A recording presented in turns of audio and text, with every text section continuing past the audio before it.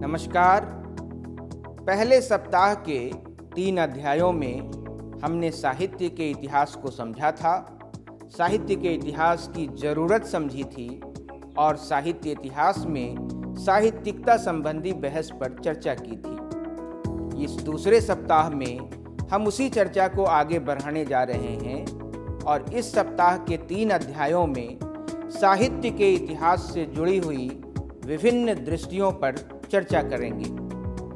इन दृष्टियों में सबसे पहले हम विधेयवादी इतिहास दृष्टि को जानेंगे और उसके बाद मार्क्सवादी इतिहास दृष्टि को समझेंगे। फिर तीसरे अध्याय में हमारे सामने साहित्य के इतिहास को समझने की रूपवादी, संरचनावादी, उत्तर संरचनावादी और उत्तर आधुनिकतावादी दृष्टियाँ स्पष्ट होंगी। साहित्य के इतिहास के प्रसंग में इन दृष्टियों को जानना इसलिए महत्वपूर्ण है कि साहित्य के इतिहास में तथ्यों का संचयन भी इन दृष्टियों पर ही निर्भर करता है और फिर उन चुने गए तथ्यों की व्याख्या भी इन्हीं दृष्टियों पर अवलंबित होती है।